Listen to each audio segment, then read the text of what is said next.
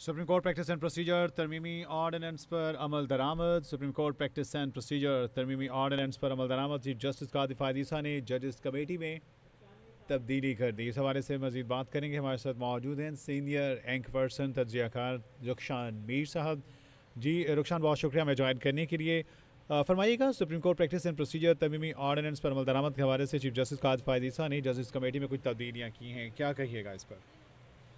جی ایک اہم نوٹیفیکیشن سامنے آیا ہے جو کہ registrar supreme court Jazila Aslam کی جانب سے جاری کیا گیا ہے۔ چیف جسٹس قاضی فائز عیسیٰ کے بیاف پر۔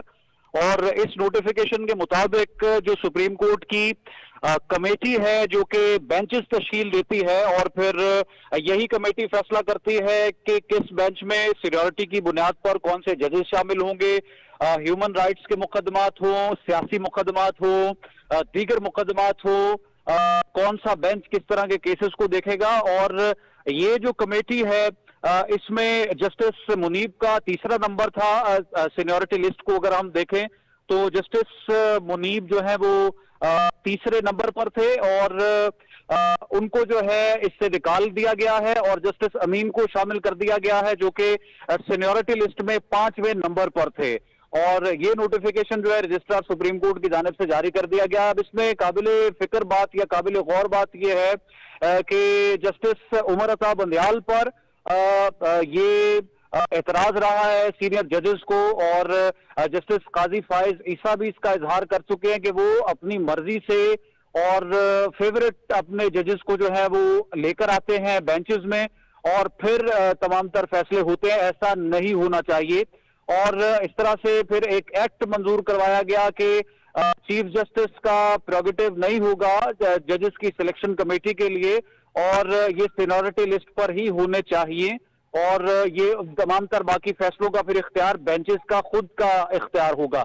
اب یہ جب ایکٹ منظور ہوا تو چیف جسٹس قاضی فائز عیسیٰ نے اس کو ویلکم بھی کیا۔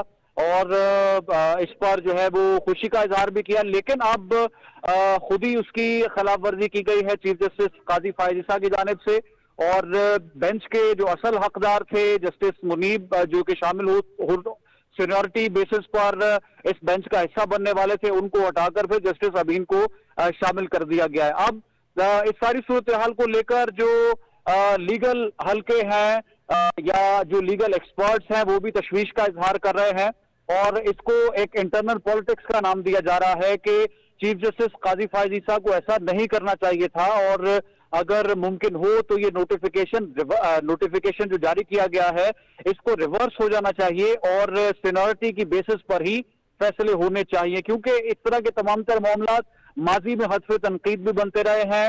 اس طرح کے نوٹیفیکیشنز پر نہ صرف عدالتوں کے اندر تنقید ہوتی رہی، بلکہ باہر بھی لوگ حدف تنقید بناتے رہے ہیں۔ اور یہی صورتحال اس وقت دیکھنے میں آ رہی ہے۔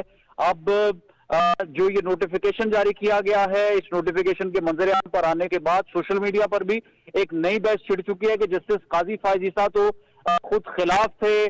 اس طرح کے نوٹیفیکیشنز کے اور سینیورٹی کو ایک طرف رکھ کر لائک مائنڈڈ لوگوں کو اوپر لے کر آنا یا لائک مائنڈڈ لوگوں کو چوز کرنا اس کے اس کے خلاف تو خود بات کرتے رہے، لیکن اب ان کی طرف سے یہ نوٹیفیکیشن جاری کیا گیا۔ اطلاعات یہ ہے جو لا آف سے تعلق رکھنے والے کچھ سینئر لوگ ہیں، ان سے میں نے اس حوالے سے بات کرنے کی کوشش کی، جاننے کی کوشش کی۔ ان کا بتانا یہ ہے کہ جو جسٹس منیب ہیں وہ اختلاف ان کا رہتا تھا یا وہ اختلافی نوٹ ان کا سامنے آتا تھا، لیکن یہ چونکہ چیف جسٹس کے خود لائک مائنڈڈ تھے اسی لیے دو پوزیشنز کو بائی پاس کر کے ان کو جو ہے اس کمیٹی میں شامل کیا گیا۔ اس کمیٹی کا بنیادی مقصد یہ ہے بینچز کی تشکیل اور اس میں پھر جو ججز کی سلیکشن کا سارا کا سارا پروسیجر ہوتا ہے، اس کو دیکھنا اور اس پر فیصلہ کرنا۔ اور اس حوالے سے یہ اہم نوٹیفیکیشن آیا ہے، جس کو رجسٹرار سپریم کورٹ نے چیف جسٹس کے بیاب پر جاری کیا ہے۔ جی۔